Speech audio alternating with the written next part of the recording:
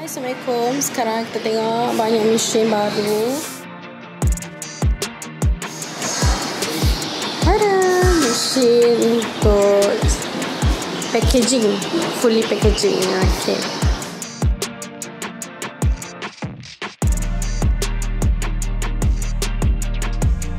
PM kami untuk details. Daripada saiz kecil, sachet yang kecil sampai yang besar.